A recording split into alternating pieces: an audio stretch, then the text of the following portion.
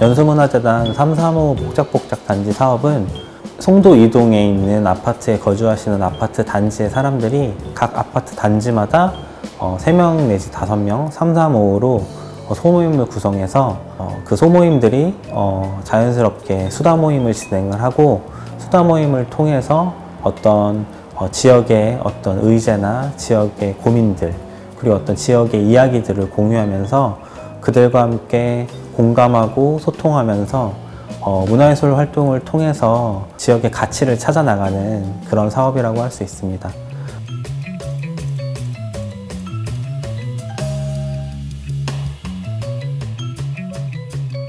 뭐 이번 기회로 왈츠를 좀 배우게 된 계기를 통해서 이후에도 어, 왈츠 외에도 어, 다양한 어, 춤을 좀 배우고 싶고요. 그리고 지역 어, 같은 아파트 내에 있는 주민들과 같이 어울려서 이런 걸 배우니까 좋은 그 기회가 된다고 생각합니다. 이 성도동이 약간 특수한 동네라고 생각하거든요.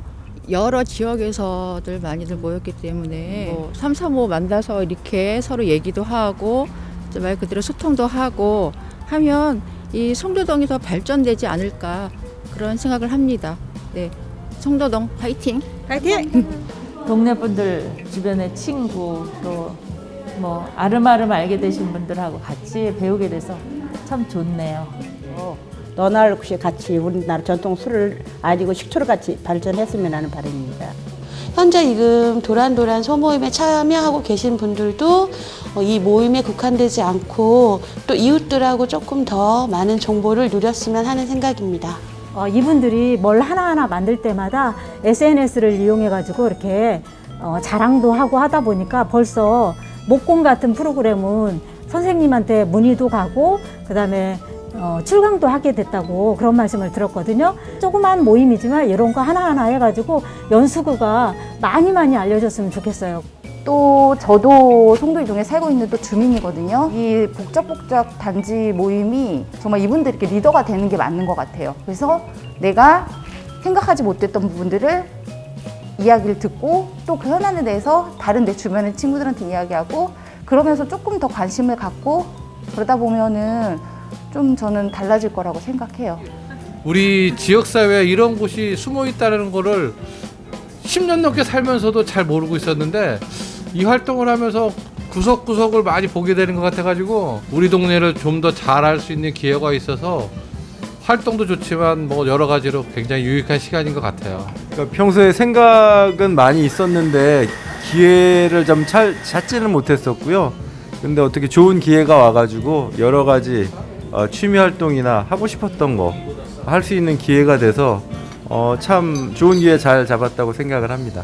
같이 모이신 분들도 하든 말든 뭐 상관 안 해주시고 뭐 실수를 하든 말을 하든 됐어 됐어 막 이러니까 넘어가 주시고 그러니까 너무 편하다. 네, 오랜만에 그런 걸 만드니까 내가 진짜 아, 아 내가 이렇게 예쁜 걸 내가 만들다니 훌쩍하기도 하고 오랜만에 성취감도 느끼고 그런 게 너무 좋았었어요.